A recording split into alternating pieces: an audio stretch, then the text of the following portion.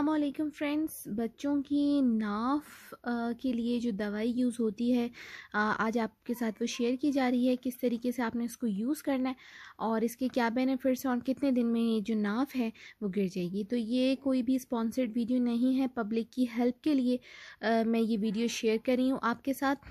और अगर आपको वीडियो अच्छी लगे तो मेरे लिए सिर्फ़ इतना सा कि मुझे दुआ में याद रखिएगा। तो ज़्यादा टाइम ना वेस्ट करते हुए वीडियो को स्टार्ट करते छोटे बच्चे जब पैदा होते हैं तो उनकी नाव का बहुत ज़्यादा मसला रहता है और ये ख़तरा भी रहता है कि कहीं ब्लीडिंग ना हो जाए। बच्चों को नाव में दर्द भी बहुत ज़्यादा हो रही होती है। तो पहले ख़वातीन कुछ देसी टोटके वगैरह करती थी और ऑयल वगैरह का यूज़ करती थी, जिससे जो है वो नाफ गिर जाती थी, लेकिन काफ़ी दिन उसमें लग जाते थे। लेकिन अब क्योंकि डॉक्टर्स अपनी दवाइयाँ देते हैं तो ऐसे ही है, एक दवाई है, एक ट्यूब है, जिसको मैंने यूज़ किया है और उसके बाद उसका ऑनेस्ट रिव्यू दे रही हूँ मैं। ये देखिए ऑलमोस्ट ख़त्म हो चुकी है और इस ट्यूब का नाम है स्पाइडल और ये आप देख सकते हैं यहाँ पे लिखा हुआ है कि gel for umbilical cord care ठीक है?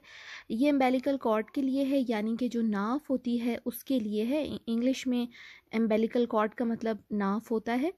जो जुड़ी हुई होती है मदर के साथ तो उसके केयर के लिए ये दवाई यूज़ होती है।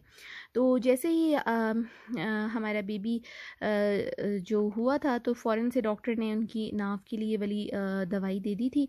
ये ट्यूब दे दी थी। ये एक जेल टाइप की ट्यूब है। ये देखिए इस तरीके का। ये एक जेल टाइप की एक ट्यूब है। और इस ट्यूब को अप्लाई करने का ही तरीका है कि जब जब आप पैम्पर यूज़ चेंज करती हैं अपनी बेबी का तो उसी टाइम पर आपको ये नाफ के ऊपर ये जेल जो है वो लगा देना होता है और नाफ के इर्द गिर्द आपको लगाना है बहुत ही ज़्यादा एहतियात के साथ ताकि बेबी को पेन भी ना हो और ये कि जल्दी से जो नाफ है वो गिर जाए।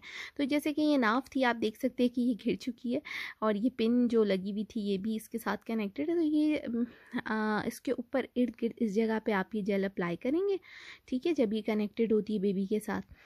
और मैंने इसके ऊपर एक टिशू छोटा सा रख दिया था ताकि ये लगी रहे और जो है वो आराम से जो है वो नाफ गिर जाए और इधर उधर कपड़ों पे कहीं भी जेल ना लगे।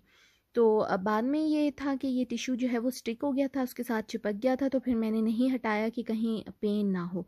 तो आप इस, मैं फिर इसी टिशू के ऊपर ही जो है वो ये ट्यूब अप्लाई करती रहती थी। ताकि जो है वो ये गिर जाए। तो इस ट्यूब को मैंने ऑलमोस्ट यूज़ किया है सिक्स डेज़ और सिक्स डेज़ के बाद ख़ुद ब खुद नाव जो है वो गिर गई थी।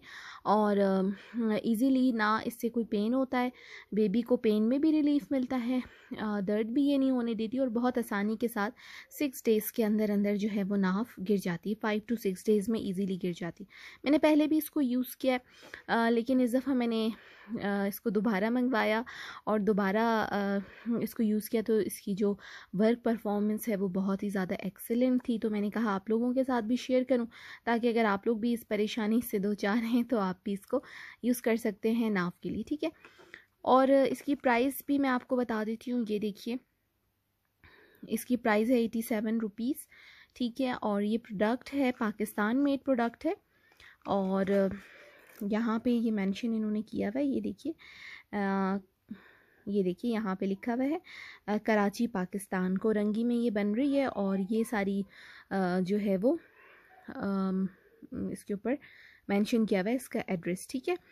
तो अगर आप भी अपने बच्चों के लिए यूज़ करना चाहते हैं और नाफ की तकलीफ़ से परेशान हैं और आ, या तो नाफ से ब्लीडिंग हो रही हो या नाफ गिर ना रही हो या जल्दी से इसको आप आ, इस प्रॉब्लम को सॉल्व करना चाहते हैं नाफ वाले को प्रॉब्लम को तो आप इसको मंगवा सकते हैं और आप इसको यूज़ कर सकते हैं। हर मेडिकल स्टोर पे इजीली अवेलेबल है और इन आई होप कि आपको इससे फ़ायदा होगा।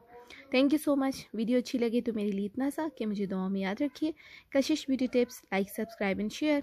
अपना बहुत सारा ख्याल रखिएगा। अल्लाह हाफिज़।